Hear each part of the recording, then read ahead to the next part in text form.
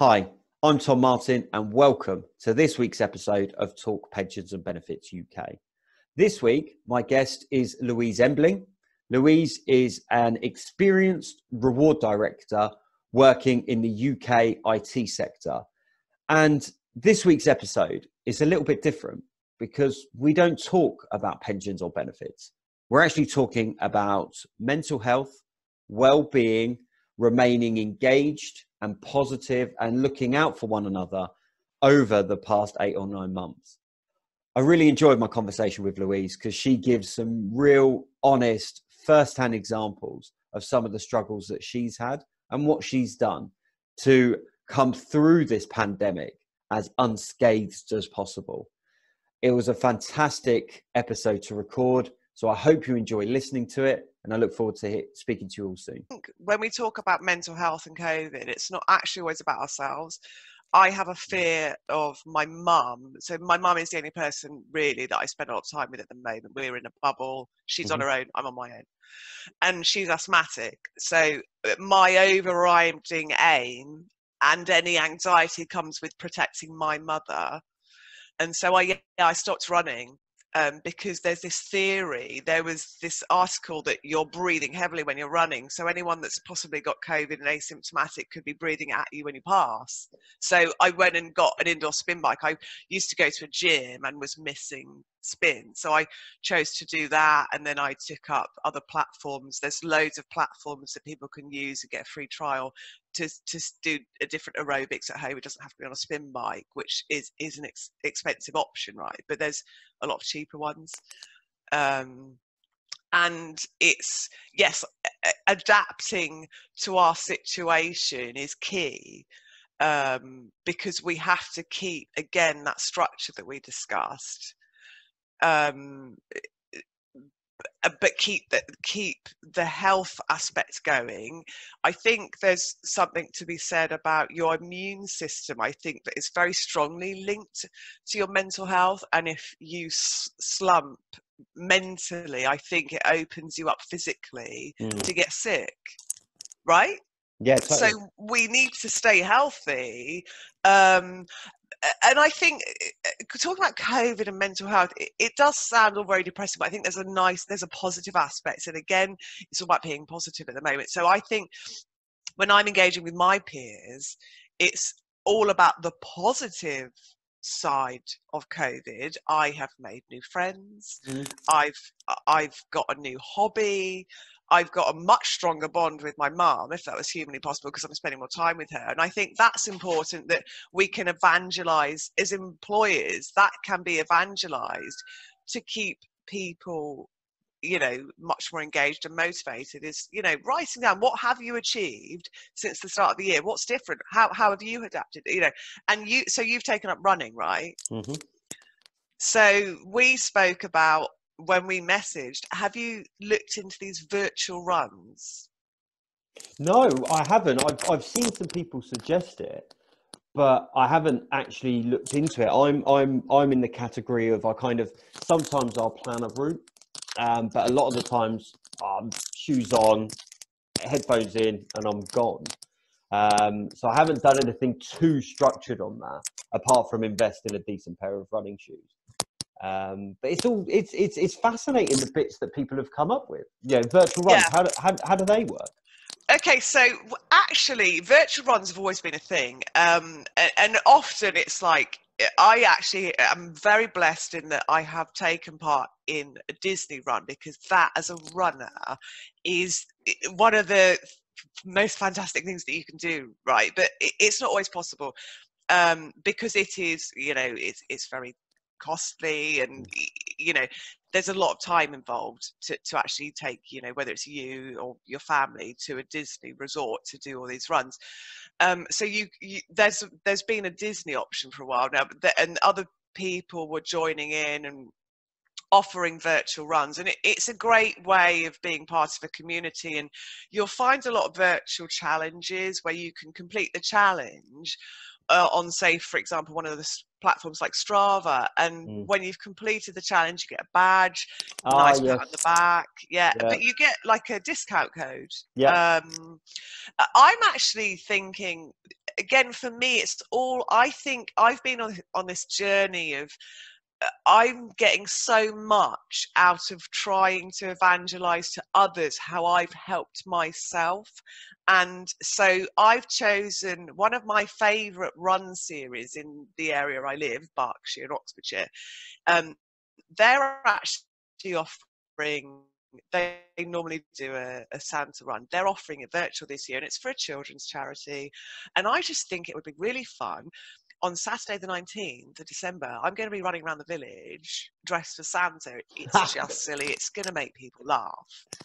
Um, but it, I can brilliant. still do my Santa run. Yeah. Um, and it's just, it, it's how do I keep myself mentally well and others because I think next year will be the year where we actually really start seeing the impact mm. of how COVID has affected em- employees, mm. and we we need to be massaging the effect.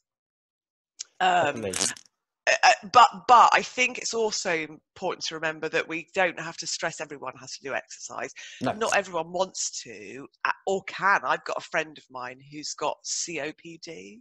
Right. Um, for him, walking is an issue. Um, so it, it's all about having different hobbies, right? But mm. I think it's important to pick pick something um, it, it is i'm sure it's fun to sit and watch films and movies all, all day but it's it, it's not helping your mm. health um, and people actually i, I did uh, see um, in the last i want to say the last five days there was someone wondering about you know everyone's obviously walking at the moment is that really doing anything you know and yes it is mm. it was the you know the effects on your mm. health mm of just walking and it, it, you know it's it, it's used to prevent issues with um, i think it's high blood pressure um, heart disease type 2 diabetes um, but again you're getting outside and you're getting that vitamin d the, the lack of vitamins is an issue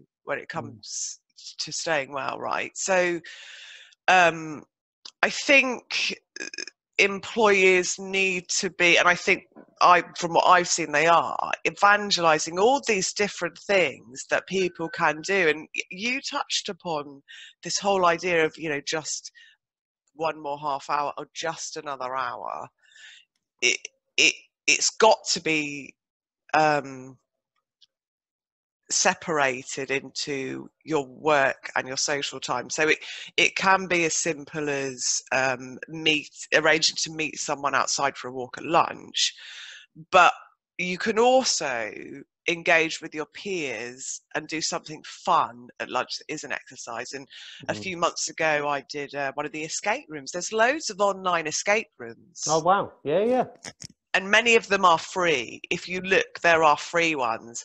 And instead of having a lunch um, where we did exercise, a load of us joined a Zoom call and I facilitated the escape room. And I had all my Comic Con memorabilia out. I was Harry Potter. I even had the scar, had my Muggle t shirt. And it's, you know, again, it's engaging staff and your peers to do something fun yeah. because when was the last time you got to go to escape rooms you know? definitely. I think it's amazing that you know anyone who has listened to the first couple of podcasts that we've we've already done you know joe holness who is a, a health and well-being uh, consultant speaks at great length about all the things that can be put into practice that don't cost you you know, they really don't. Like you just said, they could be free, they could be very, very cheap. You know, all these tools online at people's disposal are just infinite. Um, and I was talking to to, to Girish uh, at Premier, and he was saying similar to what you've just said in the sense of you know they were doing online cooking classes, yoga classes. You know, it wasn't. It doesn't have to be about exercise. It's just bringing people together, making sure that no one's isolated, no one's you know, left to fend for themselves. There is that support network there. And the best example I've had, and I've used this analogy with almost, you know, everyone that I've spoken to, I think will probably have heard this story. I there was a, two phone calls that I had really early on, uh, during this pandemic, and I had two phone calls, and one was with a very senior level business leader um, who was, for want of a better phrase, moaning at being locked down. And I think I, I, I, really kind of agreed with him in a lot of points that he made. You know, if I'm not, I'm trying to work, but the kids are running around and it's too hot and my house needs air conditioning. And we were just moaning and, and, putting the world to rights. Um, and then right at the end, he said, I don't know why I'm moaning. I've got a five bedroom house in the middle of the country with a massive garden. I shouldn't be moaning. And within two days, I spoke to someone who lived in a one bedroom flat on his own. He had cystic fibrosis, so there was no way of going outside. You know, you are as, as, as higher, uh, a higher risk as, as one can be. And his outlook was so, was, was, was the complete opposite. You know, bored of Netflix, bored of Amazon Prime. I've ordered a second-hand keyboard off eBay, and I'm using my iPad to teach myself how to play the piano. Nice. it was like, I'm just getting on with it. I get up, I open the windows, I get a breeze in here, you know, and I just deal with it. How to deal with it. And you just think, here I am moaning. Here I am moaning, but I can still go out for a run. I can still take the kids for a walk. You know, I can still do stuff. I've still got, you know, the garden and I've still got all these other bits and pieces. And here's someone who you could argue is, is in a much worse situation, much, much worse, very isolated, very locked down, that has just got the best outlook. And it just almost, it was kind of the kick up the backside that I think my brain needed. But like you just said, it's not, it doesn't have to be, oh, I've done a 10K run or a 20K hike or this, that, and the other you know, before we hit record, you were talking about baking. You were talking about Indian Bollywood dancing, which is amazing. When when else would you have taken that up? Never. You know, and it's just absolutely fascinating. I was speaking to a colleague about the running, and, and, and anyone that's seen my LinkedIn will know that I'm into running at the moment. And there's quite a bit of friendly competition on Strava between you know some of the team at work. And someone was asking me from you know, a colleague was asking me about, oh, how do I improve my time? How do I change this? And I'm, I'm by no means an expert, but I was chatting through, well, you know, train on the hills, make sure you've got the right diet, make sure you're going at the right time of day, you know, don't push yourself too hard. And it was just, but that was the message. It was like, are you enjoying it? Are you enjoying it going at, you know, at, at an average speed of six minutes a kilometer? Yeah. So why do you want to come down to five and a half minutes a kilometer, five minutes mm. a kilometer? Like I'm quite competitive in myself, so I needed that in a way. But if it gets to a point where reducing that time, you know, like you're dancing or like the the online yoga or the online escape room, if it gets to a point where that's no longer enjoyable and that's actually becoming a bit of a chore, it's it's lost its purpose. It's, yeah. Everyone needs to remember just just do whatever you have to do to have fun. If it brings a smile on your face and it stops a bit of anxiety and a bit of worry and stressing about the world out there, whatever it is, just do it. Because yeah. coming out of this, if you come out of this in one piece, you're winning. You know, it doesn't yes. matter if you doesn't matter if you've lost weight, gained weight, spent money, saved money, does not matter. As long yeah. as you come out of this, you know, I, I applaud you. Do you know what I mean? Yeah, and I think th- there's actually some one of my coaches would say to me uh, with in terms of sport and running um, as long as you're putting one foot in front of the other it doesn't fast matter how fast you're moving you're moving forwards and you know yeah it just keep moving forwards you've just got to get through this period and I think it's important to evangelize um, the aspects. Uh, uh, what I like to say to people, I have spoken to people inside and outside of the work network. You know, some of them my friends, but you know, some of them are actually people I work with, and you can tell when they're having a bad day. And I try and say to them at the moment, I think the key message to give at the moment is we're nearly there. We're talking about vaccines. We're yeah. nearly there. It, it, it's so shorter time now. Just keep going. Um, and we will get there together. But it's important that when you're talking to people to actually try and listen, I think, to how they're feeling because mm. we touched upon, you know, your situation is different to mine um, in terms of human interaction, perhaps. But how hard is it at the start of any work phone call that you just ask someone, you know, how are they, are they okay, mm. or or spend a couple of minutes? I, I literally every call I have now. What did you do at the weekend? You know, yep. what have you watched?